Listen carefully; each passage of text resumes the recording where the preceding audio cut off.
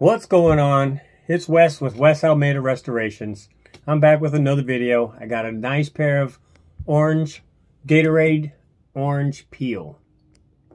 Looking good. Not right now, but they will. Come back and I'm going to show you what I'm going to get done.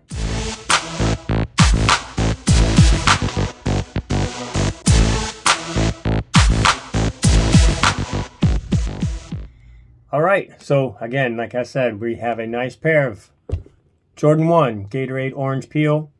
They are not looking as good as they should, and I'm going to make them back to where they need to be. So first of all, we're going to start off with, we're going to take out our laces and our insoles. We're going to get these nice and clean again. So let's get started.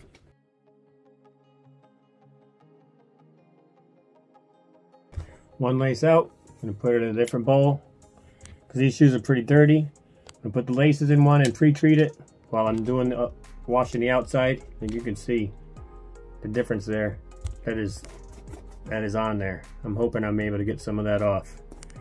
Oh wow. Hope I'm getting able to get all of it off but one lace out.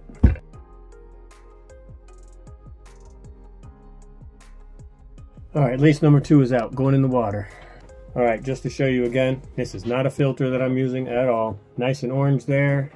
That's that's the tongue. All right, so these are these are not in good shape. Again, nice and orange on that side, but this side is not so good. That is not a filter.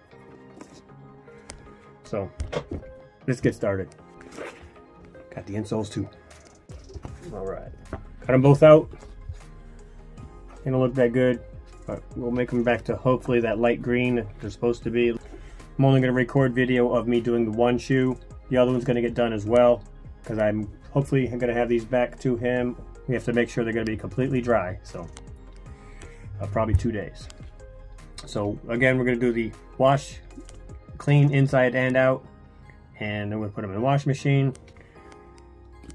Don't know if we could do anything with this on the bottom. I don't know if we will need an icebox session or not. But we will see if some of that comes off and it looks a lot better. But for now, we're going to start with our soft bristle brush and our solution. We're going to take it to the outside of the shoes and to the insoles. All right, let's get started. You want me to take this tag off too.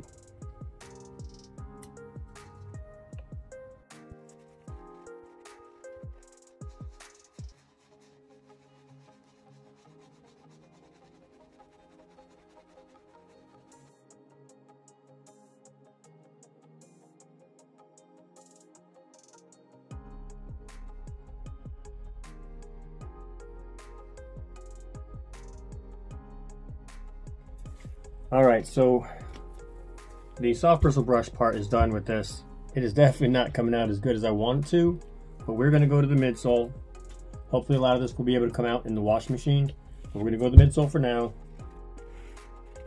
I'm not sure what's all over this thing, but this is probably my biggest challenge here, so.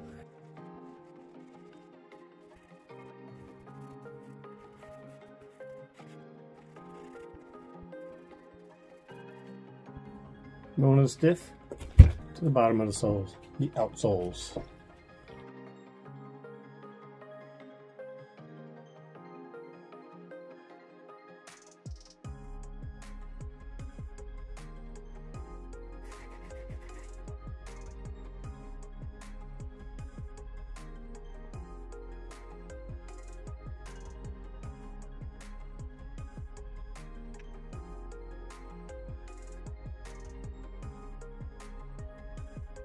We're back from the laundry room and this is what we have for the shoes. Just took the shoe trees out. How they're still being trying to form the toe area again get that back in shape but it doesn't look bad at all. Shoe bottoms came out real nice. Got them nice and clear almost. All right so again we're just gonna try to reshape these shoes. Gonna check out the uh, insoles, see if we need to take off any of the lint anywhere from inside or on the outside. Like there's a couple straggler pieces here and there, so I'm to take them off. I don't think we do an icebox session for these, but they look pretty good. look at that. I did real good on that. whatever. We're gonna start doing some touch-ups here now.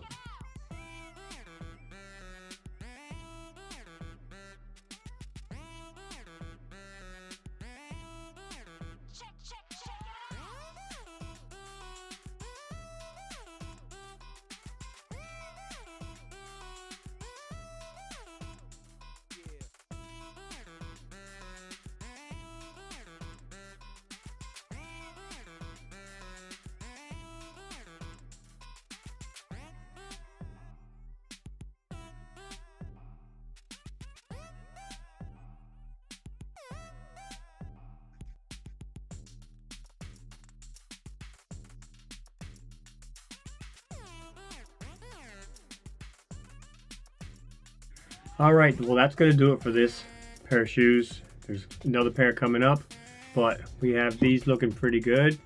Most of the markings are off.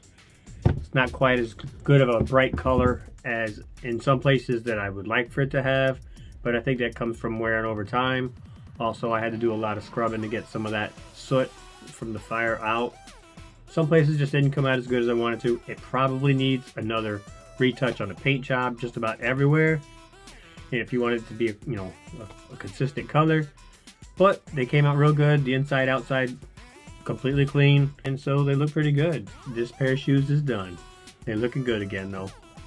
Alright, so if you like this video, make sure you give me that thumbs up button, hit that subscribe button, hit that notification bell so you get all the videos when they come out. As always, I appreciate your support. Peace.